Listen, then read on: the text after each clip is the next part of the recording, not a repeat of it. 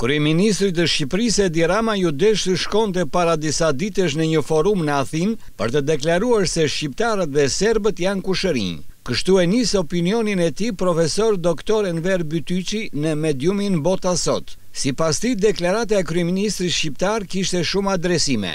Adresa e parë ishte vetë Greqia, së cilës i bëhej me dije se qeveria greke nuk ka nevojë të adresojë njohjen e Kosovës, se kjo çështje zgjidhet me marrëveshje midis kushërinjsh, dhe adresimi i dytë ishte Uashingtoni. Mesazhi për SHBA-në ka të bëjë me një lloj garancie që Rama u jep partnerëve amerikanë se është edhe ai kushëriri, vllau i tij binjak, Aleksandër Vuçiç që do ta sjellin paqen dhe stabilitetin në Ballkan. Sipas Bytyçit, pas këtij mesazhi Edi Rama kërkon garanci për të qëndruar në pushtet. Ai shkruan se të dy këtyre kushurinjve nuk u mjaftuan dhjetë vite në pushtet që ta garantonin paqen dhe stabilitetin, të cilin vetë e prishën me qëllim që ata të shihen si mesia.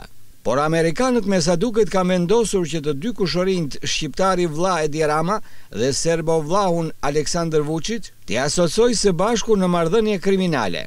Profesor Bytyçi thotë se megjithëse kryeministri i Shqipërisë po përpiqet ta transferojë antiamerikanizmin te Berisha dhe Meta gjatë fushatës elektorale, ai e di se pas katërmbëdhjetë majit do thirret në gjykatën amerikane për të dhënë llogari për krimin dhe korrupsionin me McGonigal. Amerikanët kanë mbajtur shënim gjithashtu qindra milionët e zotit Rama në emër të Olsit të investuara në SHBA, Por jo vetëm këto, edhe qindra miliona dollarë të tjerë të familjes kryeministrore në zonat e bankat offshore. Por tërheq vëmendjen fakti se në të njëjtin ditë, NATO godet planin mafioz të kryeministrit shqiptar për ndërtimin e portit të ri në Porto Palermo, ndërkaq gazeta amerikane New York Times shkruan për lidhjet kriminale të kushëririt të tij, presidenti i Serbisë Aleksandër Vuçiç, shkruan Bytyçi, i cili gjithashtu deklaroi.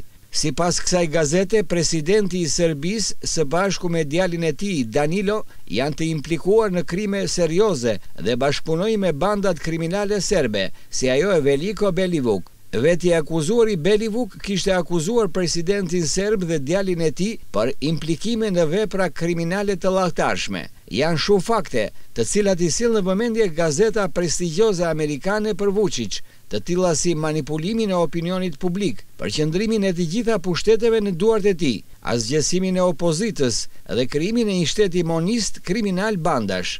Por gjithçka që thuhet për Vuçiç është pikë për pikë histori e qeverisë së regjimit të Edi Ramës në Shqipëri, thotë doktor profesor Bytyçi, teksa dhe thekson se jo rastësisht shkruan njëherësh gazeta Washington Examiner për Ramën dhe New York Times për Vuçiç. Washington Examiner shkruan për implikimet e kryeministrit shqiptar në akte korruptive për eliminimin e opozitës shqiptare, New York Times shkruan për presidentin serb, për implikimet e tij në luftën gjakderdhëse në Bosnjë, por dhe në mbrojtje të kriminelëve të luftës si Ratko Mlladiç dhe Radovan Karaxhiç. Profesori i historisë politike dhe marrëdhënieve ndërkombëtare në Universitetin Aleksandër Moisiu shkruan se Edi Rama në modelin e Vuçiç është në bashkëpunim dhe merr në mbrojtje të gjitha bandat kriminale që prodhohen në Shqipëri me regjimin e tij, thjesht për të manipuluar në funksion të regjimit despotik dhe zgjatjes së jetës së tij në pushtet. Në mbyllje të shkrimit te Bota sot, Enver Bytyçi shkruan,